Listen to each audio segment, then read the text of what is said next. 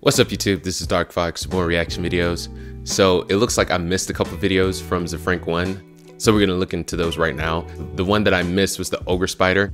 And I also missed New Nudibranch. Nudibranches.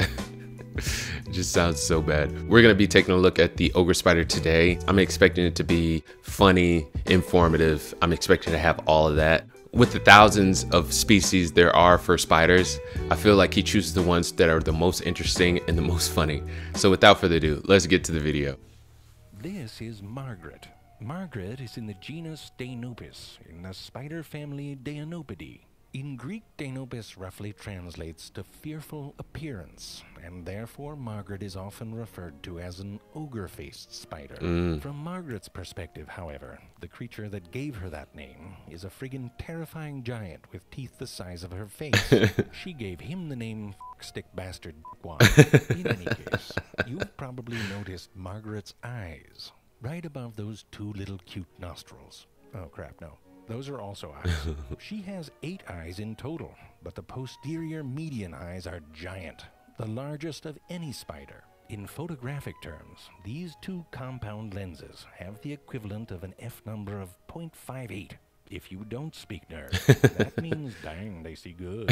Even more impressive, each evening they take up to two hours to build up a photosensitive membrane of rhodopsin-loaded microvilli inside their eyes. This allows them to gather 1,500 times more photons than our eyes. Their night vision is far better than cats or owls. Wow. And all of this is part of an unusual hunting strategy. Members of the family Deinopidae are net casting spiders. First, Deinopus creates a scaffolding to hang from. Wait, Jerry, what's the spider doing?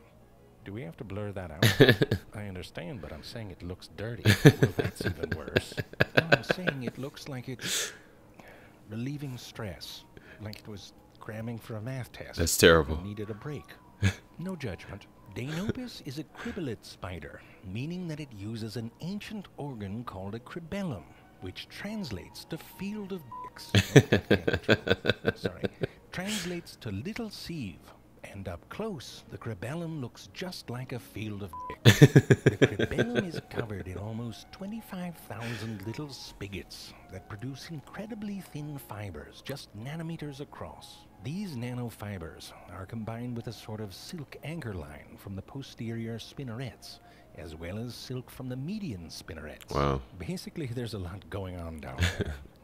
Lots of spigots. If you're a Deinopus and you laugh so hard you squirt a little, it gets messy. That is why Deinopus never laughs. But if it does, it's a small sound, like a one cheek spread fart. Like a on one of its legs, on a segment called the metatarsus, Deinopus has a specialized little comb called the calamistrum. This calamistrum My God. weaves and combs the cribellate nanofibers into little puffs anchored onto two axial lines. Unlike its orb-weaving distant cousins, Deinopus does not create little drops of glue. Deinopus don't need no glue. It does it old school, like a grandpa that played marbles with cat turds. Just give me a bunch of cotton balls on a yo-yo string. I'll get you a chicken. Deinopus creates a net with this complex puffy silk, which it then detaches from the surrounding silk scaffolding. It grabs the edges in its little spider toes and tests to see if it's stretchy stretchy just right. Wow. It then does the next obvious thing. Right. She turns around and takes a poop directly beneath her. Captured here in sex tape night vision green.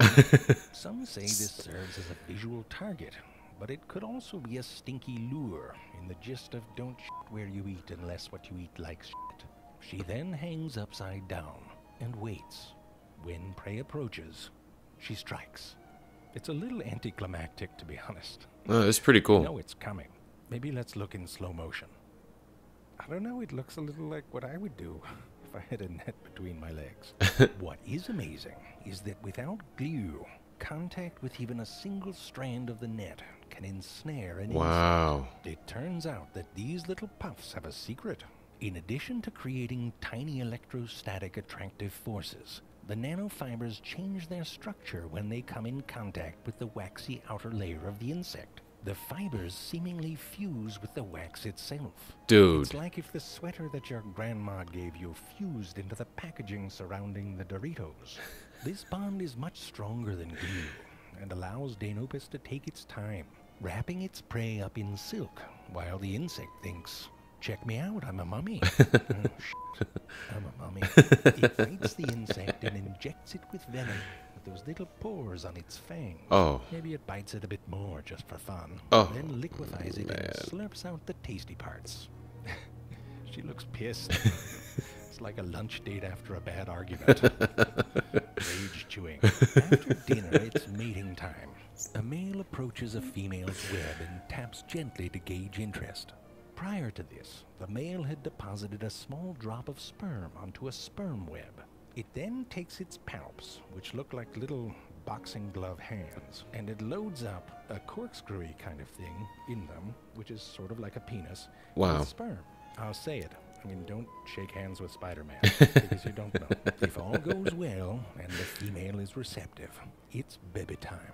With one more specialized silk weaving trick up her, well, butt, the female creates a remarkable egg sac. It may look like a wild bush testicle, but inside it's a roomy one-bedroom apartment Hilarious. shared by up to 200 little babies. And when it is time to emerge, they cut a tiny circle, and the circle of life continues. Is he gonna come out? Uh, Is that David? I told you not to use him in this shot. He's an idiot. Well, I promise you, David's not getting out by himself. Is Vanessa out? Okay. Well, have her help.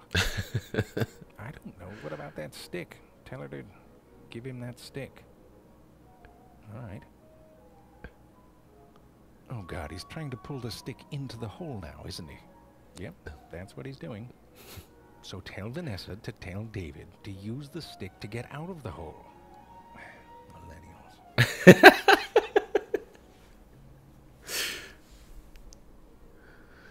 So as always, it's super hilarious. This one was more hilarious than the other ones just because they were too easy. This spider in particular is super interesting, especially the webbing that it fuses with the uh, the waxy outer coating of the insect that it's trying to get. That right there, insane.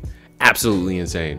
Holy freaking crap. Nature be scary. I gotta give kudos to Zefrank one again. Seriously, if you really like this kind of content, check him out. I'm telling you, you will not regret it.